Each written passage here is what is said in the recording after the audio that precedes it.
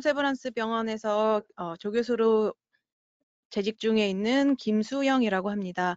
지금 코로나로 인해서 저희가 경, 공교롭게도 이제 뵙지를 직접 뵙지를 못하고 이렇게 어, 온라인으로나마 인사를 드리게 되었습니다. 제가 오늘은 이제 갑상선암 치료와 경과 관찰에 대해서 제가 어, 설명을 드리고 나중에 질문을 하실 수 있는 그런 시간을 가, 갖게, 가질 예정입니다.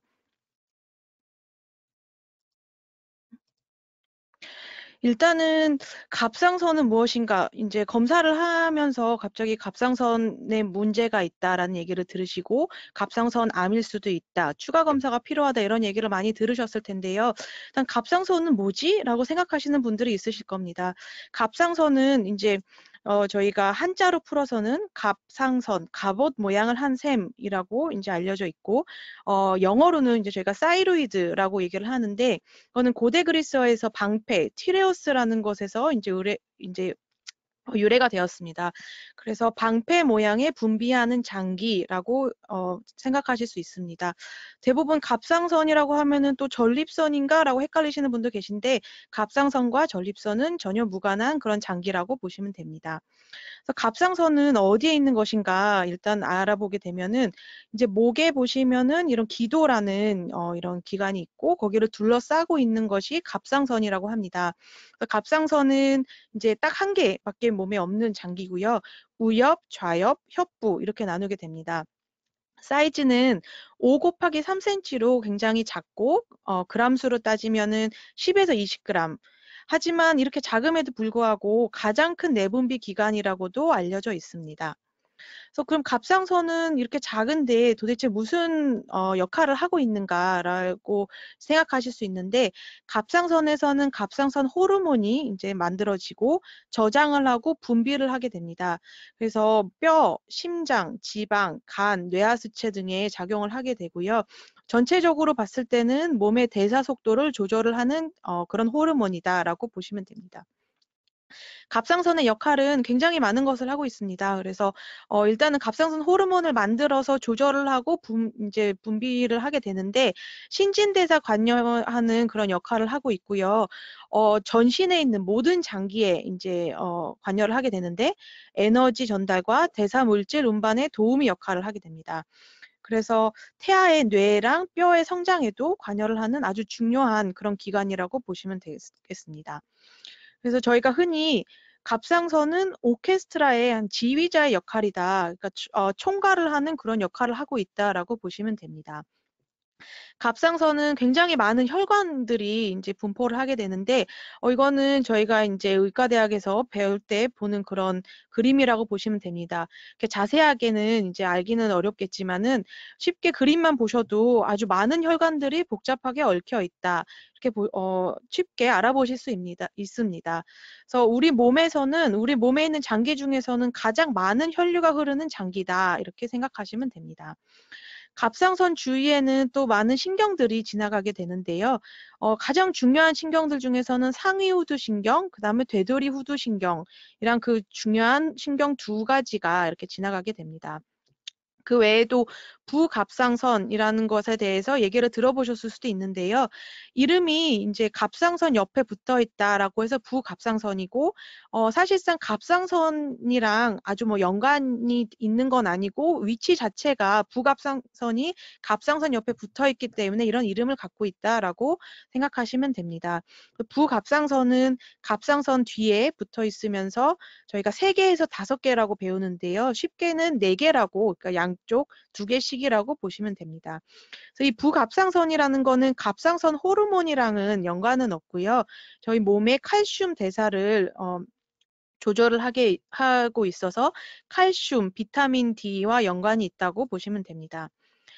어, 처음에 병원에 오셨을 때 많이들 물어보시는 게, 어, 건강검진에서 갑상선 피검사에서 아무 이상이 없다고 했는데, 제가 어떻게 갑상선암이 있을 수가 있을까요? 라고 많이 질문을 하십니다. 갑상선 피검사는 갑상선 호르몬을 검, 이제 수치를 검사를 혈액에서 하는 그런 검사가 되고요. 이거는 갑상선 기능에 문제가 있는지를 그렇게 보게 되는 검사입니다. 갑상선 암이라는 것은 사실상 갑상선의 종양이 생긴 거고요. 갑상선 모양에 어, 이상이 생긴 거다라고 보시면 될 것 같습니다. 그래서 크게 보면은 갑상선에 생기는 병은 두 가지 종류가 있습니다. 하나는 기능에 이상이 생기는 병, 그러니까 기능이 너무 과해서 항진증이거나 기능이 너무 약해서 저하증이 생기거나 이러한 병이 생길 수가 있고요. 또 종양, 결절, 저희가 쉽게 얘기해서 혹이 생겼다 이렇게 보는 어, 그러한 병, 병이 생길 수가 있습니다. 어, 종양이나 결절이 생겼다고 해서 무조건 이게 암이다, 안 좋은 거다 그런 것은 아니고요. 그 중에서도 양성 종양, 그 다음에 악성 종양 어, 두, 두 가지로 나눌 수가 있습니다. 일단 갑상선 기능에 이상이 생기는 병으로는 앞서 말씀드린 바와 같이 쉽게는 너무 과하게 나오는 갑상선 항진증과 너무 어, 조금 나오게 되는 갑상선 저하증이 있게 되는데요. 어, 쉽게 여기 그림으로 보시게 되면은 항진증은 어, 대부분 많이 생기는 증상이 몸이 더워지고 땀이 많이 나고 체중이 감소가 되고 심박수, 심박출량이 증가가 되는 병이라고 보시면 되고요. 갑상선 저하증에서는 이제 동작이 느려지고 추위를 많이 타고 체중이 증가되고 심박수, 심박출량이 감소가 되는 그런 대사량이 전체적으로 감소되는 질환을 얘기를 하게 됩니다. 그래서 앞서 어, 말씀드린 내용을 이제 종합을 한 이런 표이고요. 기능 항진증, 기능 저하증 모두 갑상선 기능의 이상이고 이것은 종양이나 어, 갑상선 암이랑은 무관하게 생길 수 있는 병이다 이렇게 보시면 될 것 같습니다. 어, 두 번째로 앞서 말씀드린 오늘 이제 가장 핵심인 이제 갑상선 암이랑 연관돼 있는 종양 이 있습니다. 그래서 종양은 양성 종양, 악성 종양 두 가지로 나눌 수 있고요. 양성 종양이라고 하면은 그냥 쉽 쉽게 얘기해서 는 혹이라고 보시면 될 것 같습니다. 갑상선암은 어, 또 그 앞상선 암 자체를 여러 가지 종류로 나눌 수 있습니다. 유두암, 여포암, 수질암, 미분암, 그 다음에 기타 흔하지 않은 여러 가지 암이 있을 수 있고요. 이게 외국인이랑 한국인이랑 또 분포가 다릅니다. 그래서 여기 보시면 한국인에서는 가장 흔한 것이 유두암이고요. 그, 그 다음이 여포암, 수질암, 그 다음에 안 좋은 종류의 미분암, 이렇게 1%를 차지하는 암, 이렇게 생각하실 수 있습니다. 그래서 대부분의 환자분들께서 갑상선 암을 진단을 받으시면은 유두암이라고 생각을 하시면 될 것 같습니다. 10명 중에 9명은 유두암이다. 그래서 갑상선암도 앞서 말씀드린 종류가 다 똑같지는 않습니다. 굉장히 예후가 좋은 유두암이 있을 수가 있고 굉장히 예후가 안 좋은 미분암이 있을 수가 있습니다. 그래서 종류에 따라서 각각 예후는 다 다를 수가 있다. 이렇게 이해를 하시면 될 것 같고요. 갑상선암이라고 해서 어, 유두암인데 미분암이라고 잘못 생각하시고 어, 굉장히 나는 이제 앞으로 살 날이 얼마 안 남았구나라고 우울해하시면서 병원에 찾아오시는 분도 계신데요. 대부분은 어, 굉장히 그 상태가 양호한 유두암이다라고 생각을 하시면 될 것 같습니다. 어, 갑상선암의 증상으로는 보시는 바와 같이 대부분 증상이 없으십니다. 대부분은 초기에 이제 진단을 받게 되시고요. 증상이 없는 상태에서 건강검진을 했다가 발견을 하시는 분들이 대부분이라고 보시면 됩니다.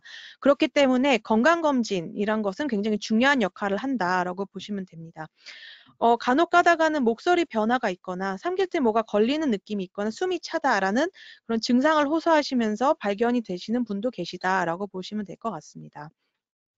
갑상선암은 진단이 어떻게 되는지를 한번 살펴보면은 어, 진단을 받으시거나 검사를 받아보신 분들은 잘 아시겠지만 초음파를 일단 먼저 보게 되고요. 초음파를 본 다음에 어, 모양이 이상합니다. 검사가 추가로 필요하겠습니다. 라는 얘기를 들으시고 이제 초음파 유도하에 세침 흡입 검사라는 것을 받, 받게 되십니다. 그 이후에 세침 흡입 검사에서 이제 갑상선 암이 진단이 되면 어, 기타 영상 어, 그런 검사를 받게 되시는데 굉장히 종류는 많습니다. CT, MRI, PET 그거는 이제 각각 환자분의 상태와 어, 진행 상태에 따라서 검사 방법은 달라질 수 있다라고 보시면 될 것 같습니다. 초음파 검사를 보시면은 어 이거는 침습적인 검사가 아니고 그 다음에 여성분들은 임신을 하셨을 때 많이 겪어 보셨겠지만은 어 뭐 방사능을 쐬거나 이런 검사가 아닌 임신했을 때도 받을 수 있는 안전한 검사라고 보시면 될 것 같습니다. 그래서 초음파 검사로는 이제 갑상선의 모양을 보게 되고요. 모양을 보면서 모양이 좋다 나쁘다 혹이 있다 없다를 판단을 하게 됩니다. 그래서 초음파를 보고는 암입니다, 아닙니다 이렇게 진단이 되는 거는 아니고요. 감을 잡는 검사다라고 보시면 될 것 같습니다. 혹이 있다 없다, 혹이 있는데 악성의 가능성이 좀 높다. 의심스럽다, 괜찮다 이런 정도로 이제 어, 그 혹에 대한 감을 잡는 검사다라고 생각을 하시면 됩니다. 그래서 초음파로 일단 1차적인 그런 진단을 받, 받으신 이후에 어, 죄송합니다. 어, 새침 흡입 검사라는 것을 겪게 되십니다. 이것은 이제 바늘로 이제 그 이름 자체가 얘기를 하듯이 어, 바늘, 침으로 흡입하는 검사다라고 쉽게 이해하시면 되고요. 가, 초음파를 보면서 이런 가는 바늘을 이용해서 어, 세포를 얻는 검사다라고 보시면 될 것 같습니다. 세포 검사 결과 세포 검사를 한다고 해서 무조건 또 다 진단이 되는 것은 아닙니다. 검사를 하는 이유는 초음파에서 의심되는 결절이 보이기 때문에 이제 검사를 받게 되시는 거고 그 세포 검사 결과 또한 어, 악성으로 나올 수도 있지만 양성으로 나오는 경우도 상당히 많습니다. 그래서 여섯 가지로 이렇게 분류가 되게 되는데요. 저희가 보통 병원에 오시면 어, 환자분은 뭐 3단계를 진단받으셨습니다. 6단계입니다. 이런 식으로 말씀을 드리게 됩니다. 그래서 6단계는 이제 암을 의미를 하는 암의 가능성이 거의 99%가 되는 어, 그런 진단을 말씀을 드리는 거고요. 사실상 5단계 암 의심 이상으로 진단을 받고 오시면 저희가 암으로 생각을 하고 수술을 진행을 하시라라고 말씀을 드립니다. 그 외에는 양성으로 나오는 게 가장 좋은 경우일 텐데요. 그러면 암이 아니기 때문에 그냥 정기적 추적 관찰을 하시면 된다라고 보시면 될 것 같습니다. 그래서 새침흡입 검사를 한다고 해서 이게 무조건적으로 100% 암이다라고 진단이 되는 것은 아니고요. 의심이 돼서 새침 검사를 했음에도 불구하고 이게 확진 검사는 아니기 때문에 100%의 정확도를 갖지는 않습니다. 양성으로 나올 수도 있고 악성으로 나올 수도 있고 이렇게 두 가지로 나오면 가장 좋겠지만은 여포성 종양이던가 비정형 세포던가 이렇게 애매한 진단이 나와서 다시 한번 어, 검사를 진행을 하는 경우도 있고요. 저희가 흔히 얘기하는 진단적 수술로서 진단을 하게 되는 경우도 있다. 이렇게 알고 계시면 될 것 같습니다. 새침흡입 검사는 어, 진단을 100% 하는 검사는 아니고요. 이렇게 나뭇잎의 일부를 보게 되는 검사라고 보시면 됩니다. 그래서 이 나뭇잎을 보면은 이게 지금 나무 한 그루를 본 건지 숲을 본 건지 정확하지가 않습니다. 그래서 일부만 보고 판단을 하는 검사다라고 보시면 될 것 같습니다. 어, 미세침 흡입과 세포 검사라는 거는 저희가 그냥 어, 흔히 조직 검사합니다라고 말씀을 드리지만은 조직을 떼어내는 검사는 아니다. 바늘로 세포를 보는 검사다. 이렇게 이해를 하시면 될 것 같습니다. 그래서 암이 진단이 되고 나면 그 다음에 중요한 거는 이게 얼마나 진행이 됐는지 검사를 하는 게 가장 중요할 것 같습니다. 어, 첫 번째로 항상 여쭤보시는 게 그러면 저는 1기인가요? 2기인가요? 라고 물어보시는데 그것을 알기 위해서 추가로 검사를 진행을 한다라고 이해를 하시면 될 것 같습니다.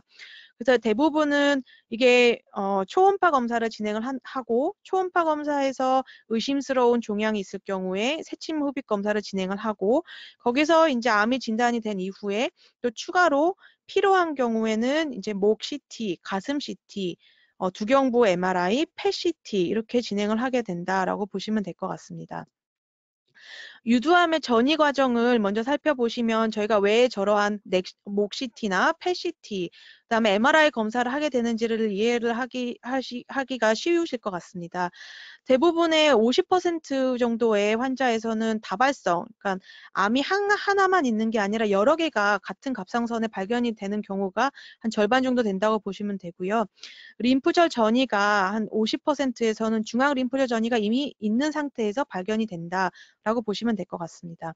갑상선 치막, 피막을 침범하는 경우가 한 50% 정도 되고 혈관 침범이나 원격 전이도 간혹 가다가 있다라고 보시면 될 것 같습니다.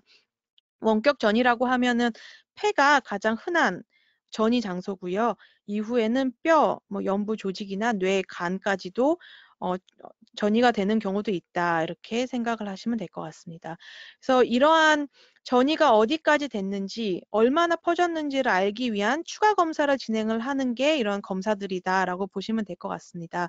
그래서 CT로 이제 대부분 목 CT를 찍게 되는데 수술 전에 어 이제 얼만큼 퍼졌는지를 보기 위한 림프절 전이 여부를 볼, 보기 위한 수술 전 검사에서 목 CT를 진행을 할 수도 있고요. 수술을 하고 나서 이제 추적 관찰을 하는 중에 재발이 의심됐을 때도 목 CT를 진행을 할 수 있다 이해하시면 될 것 같습니다. 그리고 전이 여부 전이 여부가 명확하지 않더라도 이제 객관적으로 해부학적인 구조물 혈관들은 어떻게 진행 지나가고 있는지 이런 것들을 파악할 수 있다라고 보시면 됩니다. 펫CT는 모든 사람한테서 진행을 하는 것은 아니고요. 암이라고 해서 다 펫CT, PET 검사를 진행을 하는 것은 아니고 예후가 아주 나쁜 세포암, 원격 전이가 있을 경우 재발에 의심됐을 경우에도 어, 진행 한, 한 그럴 경우에 진행을 하는 검사다라고 보시면 됩니다. 그래서 CT, PET, MRI는 진단을 위한 검사는 아니고요. 이런 검사를 했다고 해서 암이 진단이 됐습니다라고 말씀드리는 건 아니고 암이 진단이 이미 된 상태에서 갑상선 암이 얼만큼 진행이 됐는지를 판단할 수 있는 검사고 수술 후에 추적 관찰할 때 도움이 되는 검사다라고 보시면 됩니다. 림프절 전이가 암이라고 해서 무조건 잘 되는 것은 아닙니다. 그래서 저희가 앞서 보여드렸던 뭐 유두암도 있고 여포암도 있고 여러 가지 종류의 암이 있는데 림프절 전이가 잘 되는 경우는 아래 그 표에 보시, 보시는 그런 종류입니다. 암의 크기가 크면 클수록 피막 침범이 심할수록 다발성일수록 암세포의 분화가 나쁠수록 그리고 나이가 어릴수록 림프절 전이가 잘 된다라고 보시면 됩니다. 많이들 물어보시는 게 갑상선암은 수술을 하지 않고도 치료하는 방법이 없나요? 라고 물어보시는데 수술을 하지 않고 치료를 하는 방법은 없습니다. 그래서 한약, 침, 뜸이던가 면역치료, 음식치료, 기치료, 뭐 기도원 같은 것은 병만 키우지 이거는 치료를 하진 할 수 있는 방법은 아니고요. 어, 쉬운 방법으로 암을 치료할 수 있는 방법은 없다 이렇게 보시면 됩니다.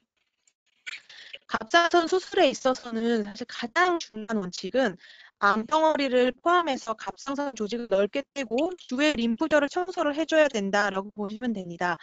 많이들 물어보시는 질문이 어, 암만 딱 떼버리면 안 되나요? 홍만 떼면 안 되나요? 라고 물어보시는데 홍만 떼면은 그거는 갑상선 암 수술의 원칙에서 어긋나는 것입니다. 그래서 보시는 바와 같이 갑상선 조직을 포함해서 넓게 떼는 것이 중요하다라고 보시면 됩니다. 가장 중요한 거는 완벽하게 암을 제거를 하는 것이 중요하고요. 그리고 안전하게 제거를 하는 것이 중요하다. 그리고 필요하면은 수술 후에 보조 치료를 해야지 된다라고 보시면 됩니다. 그래서 수술의 범위는 갑상선 암이 어디에 있는지에 따라서 얼만큼 퍼졌는지에 따라서 다를 수 있습니다. 처음에 보여드렸던 갑상선에는 우엽, 좌엽, 협부가 있다고 말씀드렸는데요. 어디에 암이 위치해 있고 사이즈가 어떻게 되고 전이 여부에 따라서 어, 저희가 흔히 얘기하는 반절제, 그러니까 좌엽, 절제술, 우엽 절제술 진행이 될 수도 있고요. 저희가 얘기하는 갑상선 전 절제술, 갑상선을 다 떼는 수술이 진행이 될 수도 있고 어, 측경부 림프절 청소술까지 진행이 되는 경우도 있습니다. 그래서 암의 진행 정도에 따라서 수술 크기는 달라진다라고 보시면 됩니다. 흔히들 어, 반절제만 하고 갑상선을 남기는 거랑 전절제 하는 거랑 뭐 장단점이 있나요? 라고 물어보시는데 사실 저희가 장단점에 대해서 설명은 드리지만 이게 병의 진행 상태에 따라서 전절제를 할지 반절제를 할지가 정해지는 거기 때문에 한 가지의 장점이 있고 단점이 있다고 해서 선택을 할 수 있는 부분은 아니라고 보시면 됩니다. 그래서 아무래도 전절제를 했을 경우에는 갑상선을 다 떼어내기 때문에 남는 조직이 없어서 재발률이 좀 낮아진다라고 보시면 되는데 그만큼 수술 범위가 넓어지기 때문에 수술 합병증은 반절제보다는 조금 더 높다라고 보시면 됩니다. 그래서 저희가 한국에서도 이제 전 세계적으로 많이 사용되고 있는 미국 갑상선 학회 진료 지침에 따라서 대부분의 치료가 이루어진다라고 보시면 됩니다. 그래서 요즘에는 옛날에는 전절제를 많이 진행을 했었고 그에 따른 합병증도 많았던 시절이 있었는데요.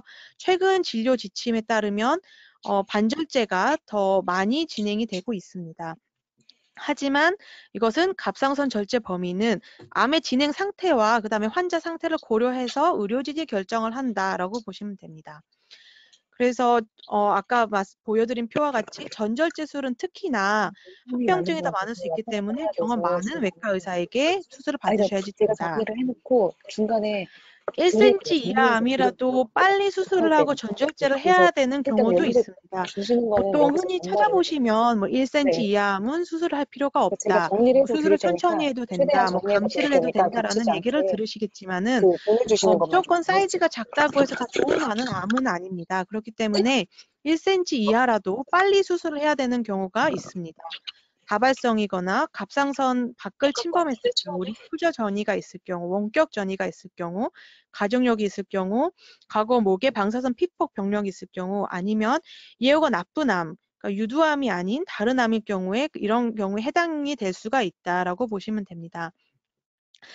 어, 네, 진단이 돼서 이제 수술을 받게 되셨습니다. 그럼 수술을 받게 되면은 여러 가지 방법이 있는 것을 이제 쉽게 검색을 해보면 알게 되시는데요. 전통적인 절개법이 있을 수가 있고, 내시경 수술, 로봇 수술, 그다음에 최근에 많이 진행이 되고 있는 최소 침습 수술, 이렇게 네 가지 방법이 있다고 보시면 됩니다. 대부분 여성분들이 많으시고 젊으신 분들도 이제 갑상선 암으로 투병을 하시는 분들이 많아서 어, 대부분 원하시는 게 흉터 없이 수술을 해주세요. 예쁘게 해주세요. 라고 말씀을 해주십니다. 당연히 이왕이면 예쁘게 하는 게 좋겠지만은 제일 중요한 거는 첫 수술을 할 때 철저하게 제거를 하는 것이 제일 중요하다. 그 다음에 중요한 것이 또 안전하게 수술을 하는 것이 중요하다. 이 두 가지가 다 지켜진다고 하면 이왕이면 또 예쁘게 해드리는 게 가장 좋겠죠. 어, 내시경이랑 로봇 갑상선 수술이 이제 최근에 많이 발달이 돼서 많이 지, 시행을 하고 있는데요. 내시경이랑 로봇 갑상선 수술도 방법이 여러 가지가 있습니다. 그래서 쭉 보게 되시면 옛날 이제 1990년대서부터 일본에서 이런 어, 내시경 수술을 시도를 했었고, 이제 한국에서도 이제 2000년대서부터 많이 내시경과 갑, 로봇을 이용해서 수술을 진행을 하게 됩니다. 그래서 내시경 로봇 갑상 수술은 대한민국에서는 크게 두 가지로 나누게 되는데요. 이제 겨드랑이를 음, 쪽을 접근을 해서 하는 겨드랑이 방법이랑 이제 유두 쪽을 접근해서 유륜을 이용해서 하는 방법 이렇게 크게 두 가지가 있다고 보시면 됩니다. 그래서 가장 큰 장점은 일단 목에 흉터가 남지를 않고 안 보이는 곳, 옷으로 가려질 수 있는 곳에 흉터가 남는 것이 가장 큰 장점이다라고 보시면 될 것 같습니다.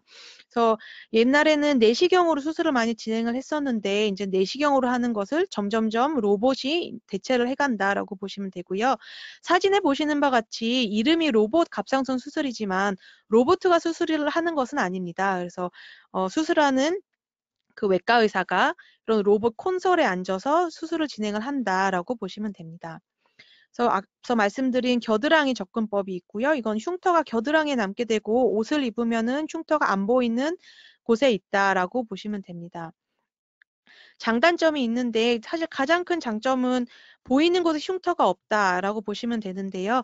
전통적인 절개법에서 5에서 7cm의 흉터가 남는 거와 반면해서 내시경 수술에서는 6에서 7cm 정도의 흉터가 안 보이는 곳에 남는다라고 보시면 되는데 여기 이렇게 파란색으로 표시해 놓은 거를 보시면은 수술 범위 자체는 근데 전통적인 절개법이 조금은 작다. 내시경 수술이 범위 자체는 조금 넓을 수 있다라고 이해를 하시면 될 것 같습니다.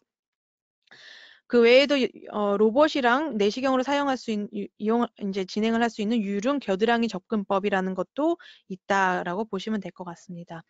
최근에 또 각광받고 있는 구강 내시경 수술이라는 것도 있습니다. 요거는 이제 내시경 또는 로봇으로 진행을 하는 수술이 될 거, 되고요. 어, 이때는 입 안쪽으로 진행을 하기 때문에 흉터가 전혀 남지 않습니다.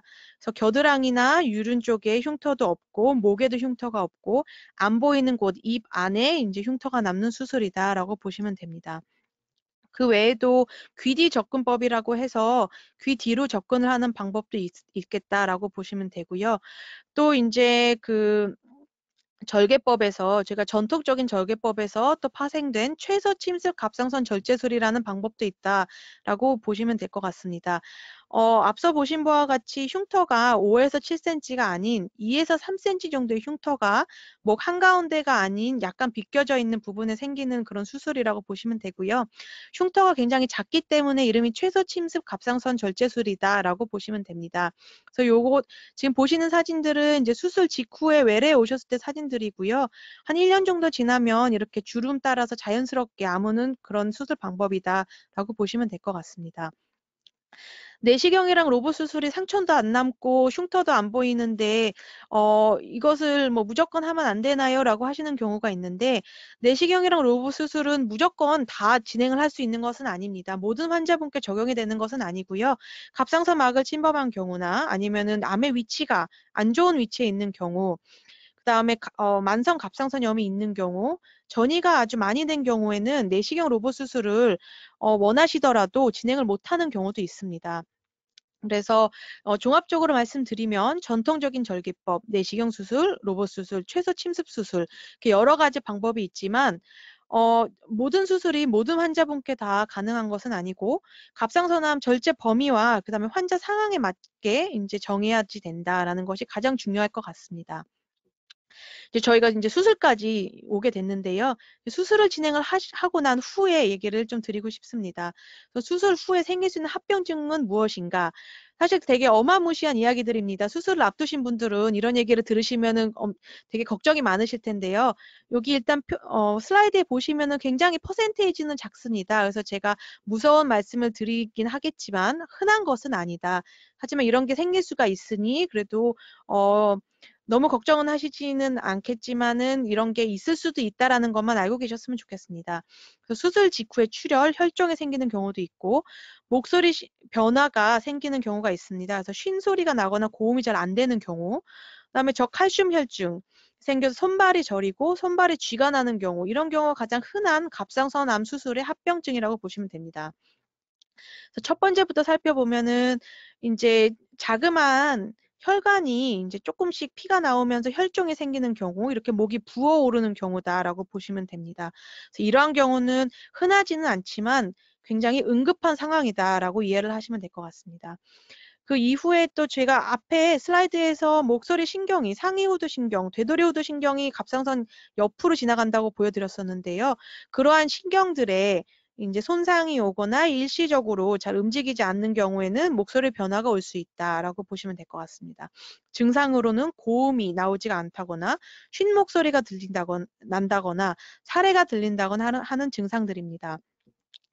사실 이미 합병증이 생긴 다음에 치료를 하는 것보다는 예방을 하는 것이 가장 좋겠죠. 이런 이러한 상태가 발생을 안 하는 게 가장 좋기 때문에 저희가 좀 위험성이 있는 환자분들은 수술 중에 이런 신경 감시를 하는 아주 중요한 장치를 하고 수술을 진행을 한다라고 보시면 될 것 같습니다.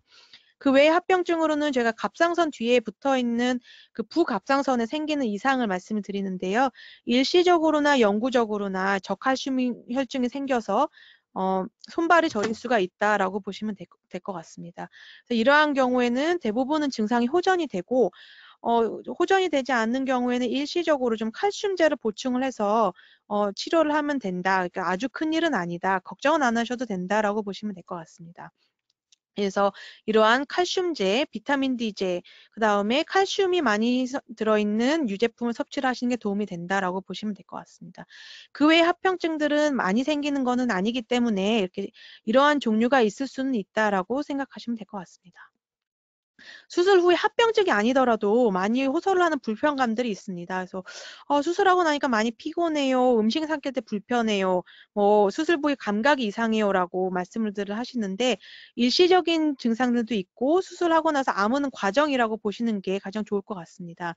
그래서 수술 후에 주의할 점은 굉장히 많, 많다고 보시면 되는데 사실상 제일 중요한 거는 기침을 하지 않고 그 다음에 수술 부위에 물이 안 들어가게 잘 유지를 하고 수술하고 나서 마취가 깨어난 다음에는 아이스크림이나 차가운 것들을 드시고 어, 안정을 취하시는 게 가장 중요하다라고 보시면 되고요.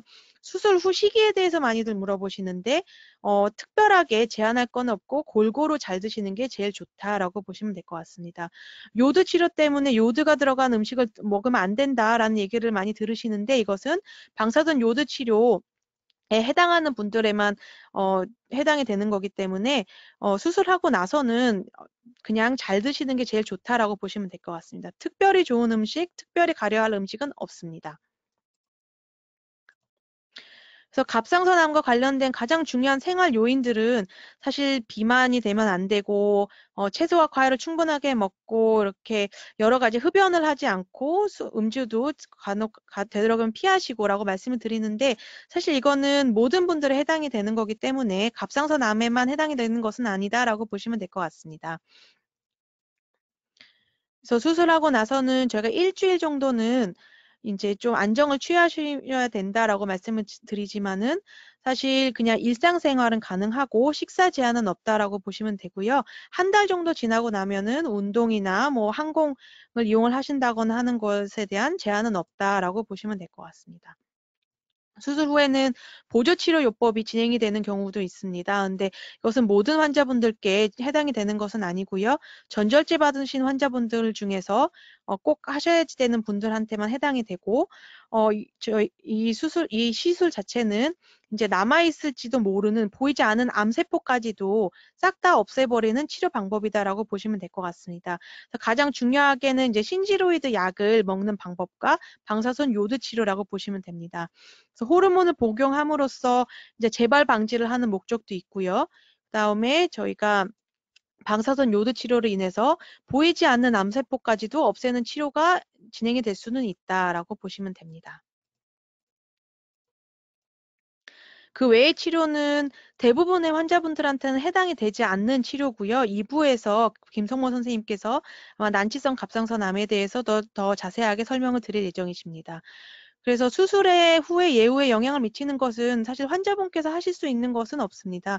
제일 중요한 거는 어, 연령, 크기, 성별, 병기이기 때문에 뭐 어, 음식물 섭취로 인해서 뭘 바뀌, 바꿀 수 있다거나 그런 것은 아니기 때문에 그냥 건강한 생활을 유지하시면 된다. 어, 긍정적인 마인드로 생활을 하시면 될 것 같습니다. 수술 후에는 이제 추적 관찰을 하게 되시는데요. 재발이 되지 않도록 저희가 검사를 하면서 재발이 되더라도 빨리 발견을 하기 위해서 기본적으로 피 검사, 그다음에 정밀 검사로 영상 검사를 진행을 하게 됩니다. 제일 중요하게 보는 거는 저희가 TG 수치라고 이제 검사 보게 되고요. 이거는 전절제한 환자에 있어서 이제 재발이 되는지를 보게 된다고 생각을 하시면 됩니다. 전반적으로는 보시면 예후는 굉장히 좋고요. 유두암일 경우가 아까 제가 처음에 90에서 95%라고 말씀드렸는데 5년 생존율, 10년 생존율 모두 좋다라고 보시면 됩니다. 그래서 제일 중요한 거는 제가 어, 말씀드리고 싶은 거는 사실 저희가 요즘 뭐 남편 찬스, 아내 찬스, 부모님 찬스, 선배 찬스 이런 여러 가지 찬스, 뭐 금수저 이런 걸 얘기를 하게 되는데요. 제일 중요한 거는 경험이 많은 어, 의사분께 수술을 받고 경험이 많은 기관에서 합병증이 생기지 않도록 환자분께 맞는 적절한 치료를 받으시는 게 가장 중요하기 때문에 전문가 찬스를 이용을 하시는 게 가장 좋을 것 같습니다. 네, 이상으로 제 강의는 여기서 마치겠습니다.